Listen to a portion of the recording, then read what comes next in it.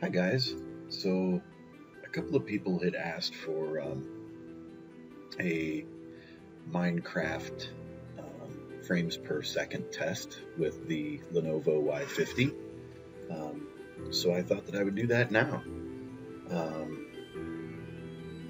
this is a uh, the latest snapshot, by the way, um, at least as of today when I uh, recorded the video.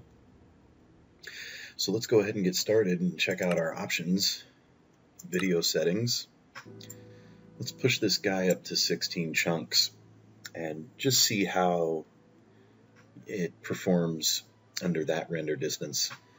And uh, I also have the VSync turned off so that um, Minecraft doesn't limit the amount of frames uh, that are rendered or drawn or whatever the right word is for that. Um, I think everything else is um, set to the defaults. So let's go ahead and see what we can do. Let's go ahead and create a new world. And we'll call it uh, FPS test. And we'll go ahead and add the FPS test as a seed as well. So let's uh, create the world.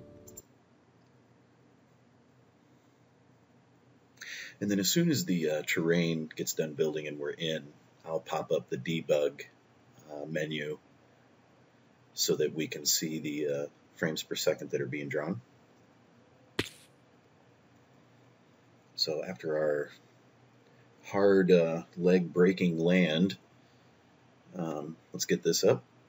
So keep in mind we're at um, 16 chunks as a render distance. And, um, you know, it might still be drawing some chunks here, as you can see in the off in the distance there. But even at 16 chunks, it looks like we might be steadily staying above, um, you know, 30 frames per second at least, as I fall into a pit. All right, so let's um, let's keep moving. And I've noticed through some of my Minecraft gameplay uh, when I'm not recording that frame rates tend to drop when you enter trees. That kind of like what just happened there. You had a frame rate spike. It looked like. So I think to get a good measure, at least of the 16 chunks, um, you know, we'll head over towards this big area of trees and see what kind of uh, frame rates we get. I'm going to keep moving as much as I can so that those chunks off in the distance that haven't rendered yet kind of, you know, we're forcing them to generate, I guess.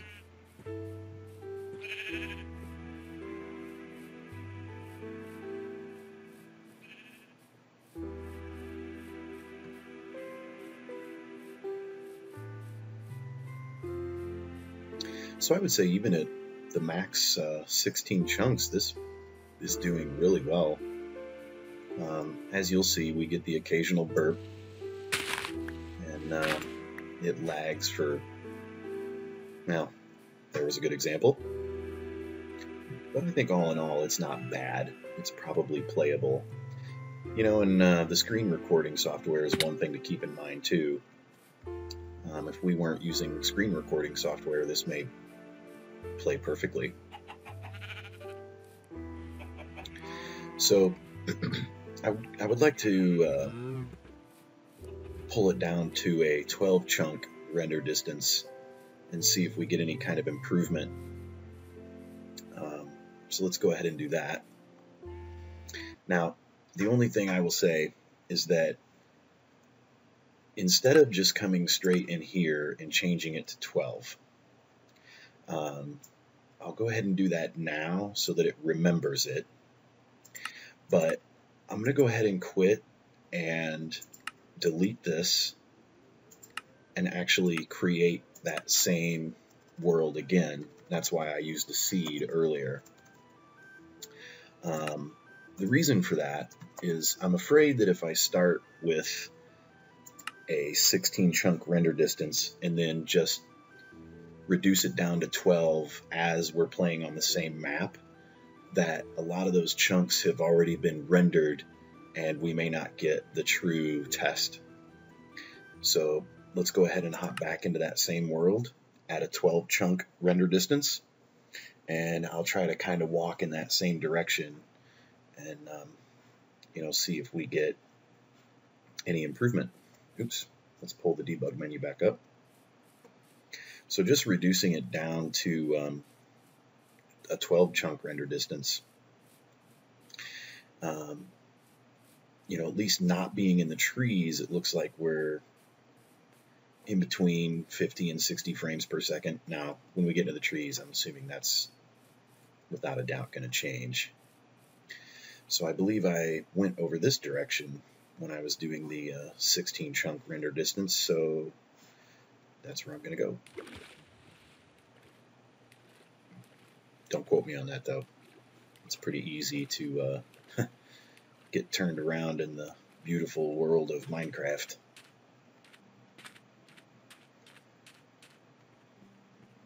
So even at 12 chunks, I still see an occasional um, frame lag spike, but by far this is much, much better.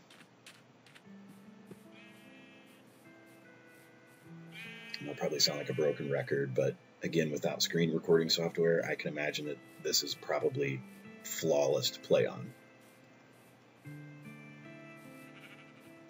Now, if you've played Minecraft before, you're probably well aware of the fact that you know if the frames if the frame rates are decent on the overworld or whatever it's called that we're in right now that the nether is typically way worse um, I can't show you that right now only because this is a brand new game and we don't have any portals yet I suppose I could have done this in creative mode but I still think it'll get the point across. There, we had some lag spikes there. You know, and this is all during chunk generation too. Um, another thing to keep in mind too is Minecraft is not necessarily a uh, like a modern game that pretty much mostly maybe relies on the uh, video card performance. Um, this has a lot to do with processor performance too. Um, so maybe it'll be a good measure of the Y50 playing Minecraft overall. Um, I don't know. I, am pretty happy with uh, the 12 chunk. Um, I am going to do one more. I'll drop it down to 10, and then uh, we'll probably call that a video. So let's go ahead and do that. Um, I'll drop it down to 10 first. That way when we start the new map, it'll just be at 10.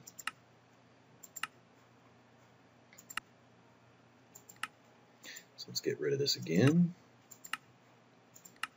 Create the new world. PS test.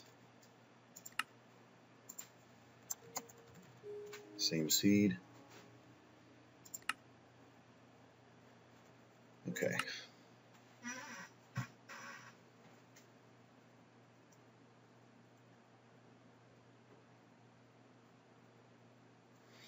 So we're roughly in the same spawn location. There's our trees where we head every time. Let's turn our debug menu back on.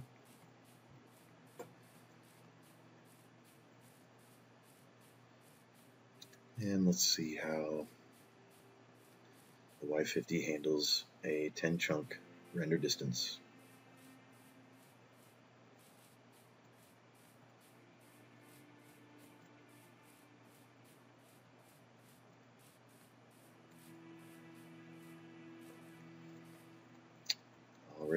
Spike.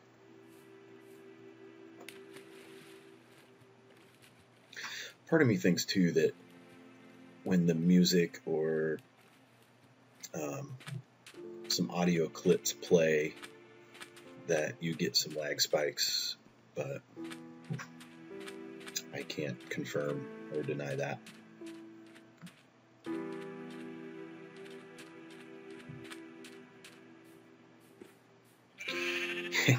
I'm not really sure. I mean, it almost seems like the 12 chunk render distance did better. but let's keep walking and see what we see.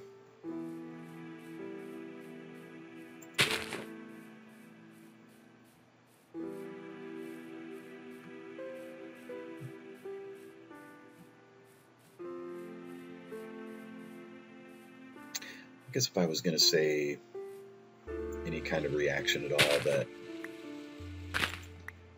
I guess it seems like the 10 chunk render distance has more a uh, of a consistent higher rate, although it's still not, I would say, 100% perfect. It kind of surprises me a little.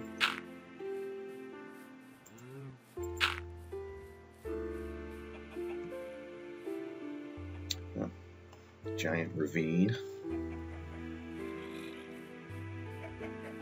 Some zombies off in the distance.